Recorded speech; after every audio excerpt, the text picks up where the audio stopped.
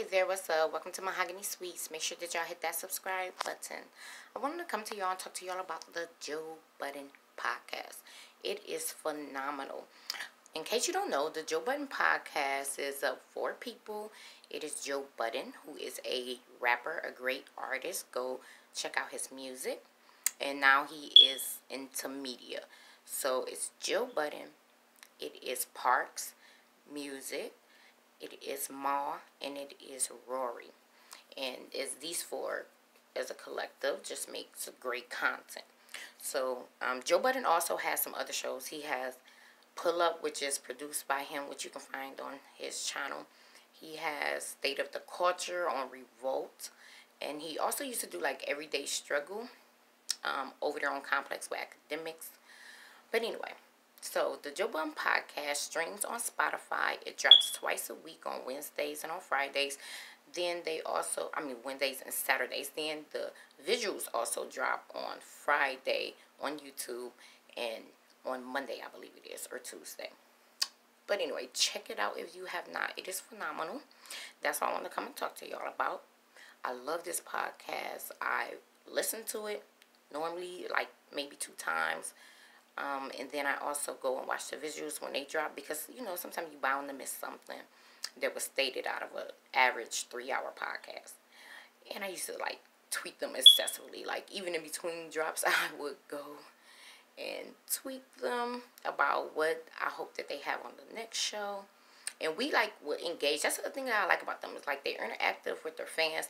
Like it's been times where I've even trolled them. Like I trolled Mal before about wearing a pink sweater. He took it cool. You know he he's not any none of them are those type of celebs or personalities to where if you tweet them, you know, trying to cap on them or your opinion that might not be in their favor. They're not going to block you for that. They're going to engage with you. They're funny, lighthearted. I even met them in person. The only one that I didn't meet was Rory, but I even met Ian. They're all cool guys. They came here to Detroit. I took my brother to um, their live show, their live podcast, which was great. But I don't tweet them anymore because I follow other reality TV shows, and when it airs and you engage or state your opinion, they will literally report your page. Them women are like just so fragile. So they were um, report my page all the time. I kept having to remake Twitter pages, start over. I just got over it. And so I don't really be on Twitter like that anymore. But I was thinking like, you know what? I want to do Joe Budden reviews. Not Joe Budden specifically, Joe Budden podcast reviews. So if y'all would be interested in that and would watch that, let me know because then I will start doing that. But anyway, let me get to my focus of the podcast.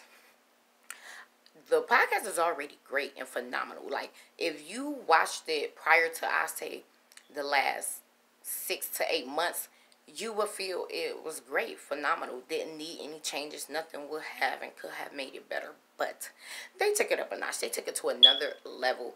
And it is just even more phenomenal to me. Like, my mind is blown. Who knew that we needed it and they gave it to us? First one is Rory. Um, before, Rory would be very defensive, very sensitive in his feelings. And I believe for most of us viewers, it would be comical to us, you know, like how sensitive he was when they would, you know, joke on him and stuff. He would just take it like very personal and felt like he had to prove something. You know, he wasn't okay with it. So even fans on Twitter would, you know, we would poke at him. You know somebody sensitive about something, you kind of poke at it just to play with them or whatever. But anyway, he would take it very, very personal. What I noticed in like the last six to eight months, he does not do that anymore. Like he's very lighthearted. They make a joke on him. He actually even leans into it. Joe exaggerates a story about him involving him. He leans into it. He, you know, make jokes himself. He laugh it off. He let it flow. And I would have never imagined that something that simple from him being less defensive would have made it a hundred times better. Um, I believe that the changes maybe do. Joe had mentioned that he suggested therapy to Rory, and Rory, you know, took that advice, which is great. Um, seeing a therapist or you know someone who you can talk to, um, be a soundboard for you, give you great advice is always necessary and needed. So that was phenomenal. I'm glad that he did that, and plus it, it showed that he has finally, and probably maturity in itself just has something to do with it. Everyone, as they grow, as they learn, as they live, come into a place of knowing who they are, having confidence and um, power and self-control and just being content and knowing who they are. And every man especially has to reach that point where they know who they are as a man and are comfortable with that. And Rory has reached that. And I'm so happy for him that in his personal life, just him as a human being, has come into that maturity, to that growth, to that um, fullness of knowing who he is and being content and happy with that. So I am just so happy for him that personally he's reached that um, milestone, but also it reads well for the podcast. It's great for the podcast. The second one is Ma. Ma used to be like very wall up, defensive, sheltered, um, conservative, reserved, laid back. You know, he really didn't give much. He, uh, he used to be so cut and dry. Like he didn't. He's not. He don't make for a great conversationalist. I'll just say that. Not on the podcast because right he is in front of millions of people and it, you have to come to a level of vulnerability to be open about who you are and about your background and about your opinions even. So he was not there before. He kept everything real cut and dry. And now he had just opened up so much like he's revealing to us who he is what he thinks how he thinks um to a degree. You know that he's allowing to share more of himself. He's in a place now where he's willing to share more of himself with the listeners. And I love that. Like, that was just amazing to, you know, have an understanding of how he grew up, where he come from. Like, he even has shared with us his feelings and viewpoints in relationship with his father, um, him growing up. And I really love that. To me, that is phenomenal that he came to a place where he's like, you know what? I'm really going to go ahead, open up, and share with the viewers because yeah, you're sitting here with your friends. They know you personally, and they know even the surface level um, presentation that you present, but you're not sharing or giving any of that to the listeners. And he has begun to do that, and I think that's amazing. That made the podcast even more phenomenal. So those were two things that have taken the podcast to a whole nother level that I did not even know we needed in the last six to eight months. And I love it. I love the podcast even more now. So I also wanted to touch on a couple of things that they had discussed on the podcast. Was really only one thing that they had discussed on the podcast. I'm not even gonna talk about the other ones, or I might just do them in a separate video of just my opinion concerning them. But Joe Budden had brought up the Ari Lennox situation where she um, wanted to take, uh, I wouldn't say a fan because I guess they wasn't her fan since they insulted her, but someone made a tweet to her stating that to them she wasn't attractive, basically, to sum it up. That I believe that their exact words was that she looked like a dog or something like that. And Ari Lennox made it a race thing, and she made it a everyone thing of a between men and women thing, between black men and women thing at that, as if we aren't in a fragile enough position to have added stuff that technically don't even apply onto us. Okay, so this was one random person who tweeted her that basically she was not, they were not attracted to her, that she was not attractive. Um, race doesn't have nothing to do with that. They did not mention race. They didn't say, oh, you as a black woman is not attractive. They didn't, which I'm guessing that it had to be a black man because she made it about black men not being attracted or defaming black women. Well, race had nothing to do with it. And this person made one statement to you. Just because that black man was not attracted to you does not mean that he's not attracted to black women. He just felt you're not attracted to him, which he could have kept that opinion to himself, but he didn't. It's social media, as Ma stated on the podcast. Stop giving tweeters, random people across the world, so much power that you would um, give whatever they say that much weight to let it disturb your peace, your peace of mind like that. And true enough, that's easier said than done. But at some point, you have to come to the place of where you're comfortable in you and know who you are and don't give that stuff that much attention like that to ruin your day, your mood, you know? So, um, I Joe mentioned some key things, and I actually support and agree with him on this.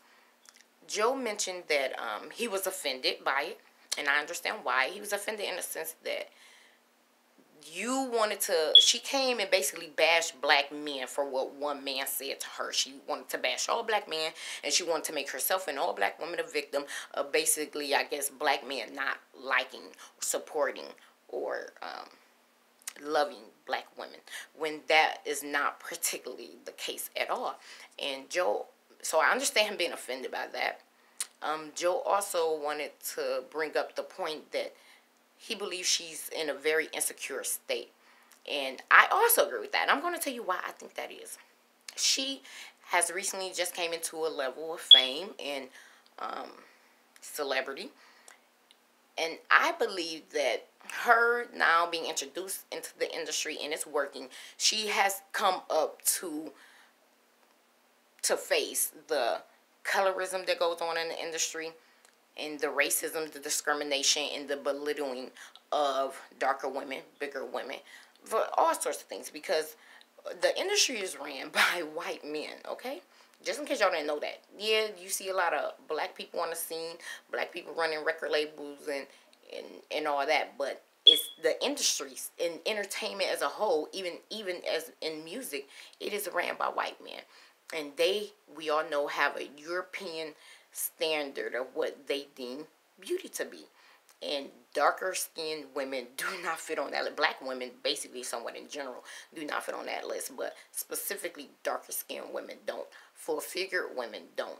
And um, the full figure thing is just across all races. They, the industry, entertainment industry, is not very accepting of women who have some curves and some meat on their bones. They are trying to well, people are forcing them to get over that. But the colorism, racism part is still very much alive in the industry. So I think that her coming into the industry and being met and, and seen blatantly and openly, because those people up in the industry know, they'll tell you like, hey, you fat, you need to lose some weight.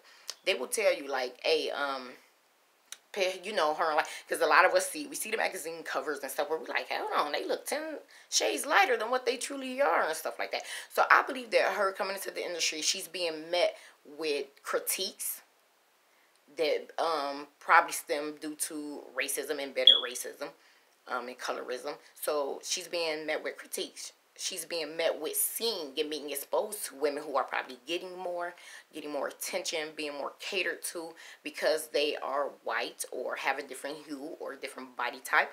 And so I think being in competition um, to a degree with these other women who don't look like you and they're saying that the way you look is not somewhat the standard has made her very insecure. And I think the reason why she took it so this one man randomly telling her that he's not attracted to her. I think the reason why she took it so personally is because she looked at like, okay, I'm being met and seeing all this critique, racism, judgment, belittlement in the industry. Well, right, these are white people. Fuck them. At least my own black men, they are attracted to me. I am beautiful in their sight. So screw with y'all. So I think she was using in her mind to fight the insecurity of saying, I'm going to have black men and their viewpoint and their standard of beauty be what holds up my self-esteem. And I think that she put that on all black men. So when that one black man told her, you're not attracted, that kind of crumbled what she was using as a, um, a soother, a comforter. Oh, my phone about to go get. I think that that crumbled what she was using as a soother and a comforter against the racism and discrimination that she is facing in the industry. And due to the fact that it was so fragile on holding up her self-esteem on all the black men when that one black man just said i'm not attracted to you. She went in. So the other things that she wanted to say was black men no other race does this but black men. This is the other which that man mentioned nothing about race. Like i told y'all all he said was i'm not attracted to you. You look like a dog to me. And so joe said um first off she's inaccurate with that because it is it's the white man who made the term cunt that they use against their women. And that was one of the examples he gave. I'm not sure if he gave some other ones but yes. Uh, across the board different races of men for certain women in their culture they call names or view them a certain way. That does not mean that that's how they feel about all of them. It does not so there other men are not better than black men in any type of way Okay, so if you're thinking that other races are treating their woman to some higher standard or some putting them on a higher pedestal than than their own, you're you're false. You're false with that observation. Like it's it's not true, and it's a shame that you would be indoctrinated and disillusioned to believe that. But um, that's what she wanted to say is black black men are the only ones doing this to this women to their women. That's not true. It's absolutely not. It's trash men in every single race, and it is men who disrespect, disregard, and um, down their women of any race. Like, um, Katy Perry could probably tell you about a million tweets she didn't have from white men saying negative stuff about her. Like, get over yourself. So, I agree with him on that as well. Black men are not at some ratio different from other um, races of men, and you are minimizing all of the millions of black men who support, love, and pit black women on a pedestal. Because I know that was publicized and was thrown down your throat and was polarized is, oh, well, black men have some disdain for black women. It is not true. If you look at the statistics of marriage, of black men that are married, over 80% of them are married to black women, okay? If you look at the statistics for just as many unwed men but are dating, over, I'm probably sure it's probably the same. It's probably over 80% of them are dating black women. So just because they want to shove down your throat, these even in the industry, if you look at the industry, they shove down your throat these white, I mean these black basketball players who are marrying or dating non um, black women. But they are not the majority. If you look at the majority, the rest of the NBA, the majority of them are married to black women and are dating black women. And a matter, matter of fact, look at Tristan Thompson. Yeah, he got with Khloe, but before he's with Khloe, he's with a black woman. And he cheated on Khloe with a black woman, left Khloe for a black woman. Like, so even some of the ones that are dating or marrying white, it does not mean that they're more attracted to them, love them more, or or any of that. Men are attracted to every race on the earth. Men will have sex with every race on the earth. They are not caught up caught up on that or looking at like that. You do have a few select black men who be like, oh, okay, they despise black women. But you also got to look at the fact that, number one, you don't want those anyway. Something wrong with them. That's more so they self-hate. Um, also, it is you can't hate none unless you first were in love with it. So if they have this disdain towards black women and like, oh, I'm done with black women, I'm only dating white or Spanish or whatever it is, most of the time that comes because they were very, very um, significantly hurt betrayed, rejected by black women. So they want to take it out on the whole race of black women. And they're going to a different race of women to soothe their ego, to um, to build them back up, make them feel better about themselves, while at the same time using her as a means to be like, okay, I'm exacting revenge on black women because they didn't want me or they hurt me or whatever. So basically, my point about this is the majority of the men who um,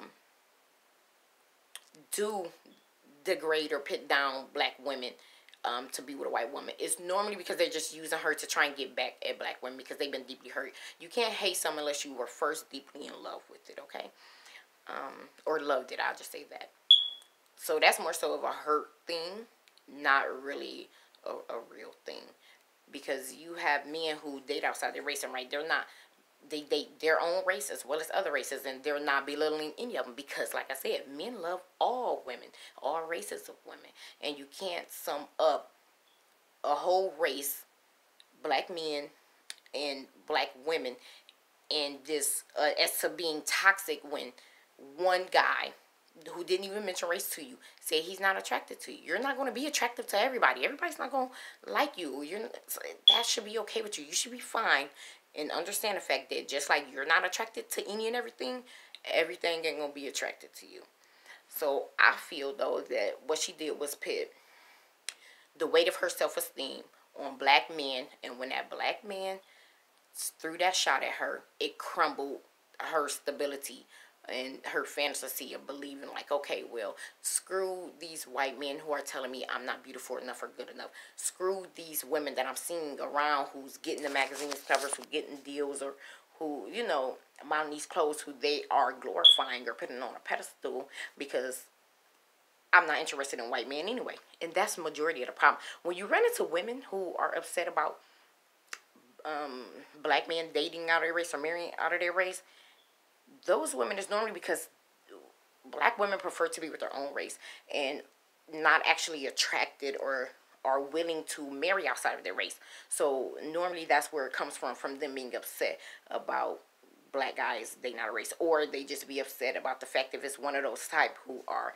downing and degrading black women to try and make this non-black woman feel better about herself or to try and get revenge at the black woman who he feel has rejected him abandoned him and hurt him so I just want to um, come and share that Joe Budden, I agree with him. She is drawing this out bigger than what it is. She's trying to make it a race issue when it's not. Um, as far as this one guy telling her she's not attractive, that's not a race issue. That is not a between the sexes issue either.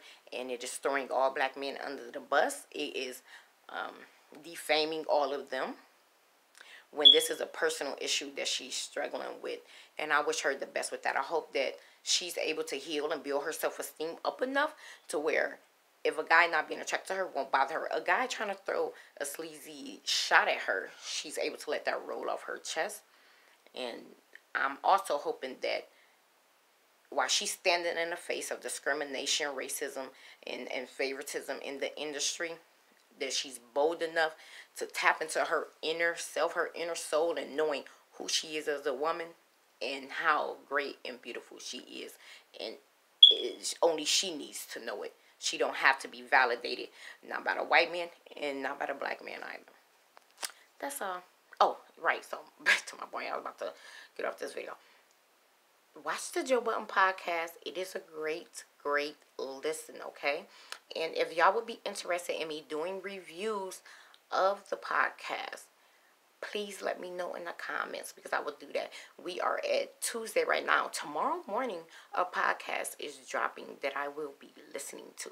If you want me to review it, let me know. Bye.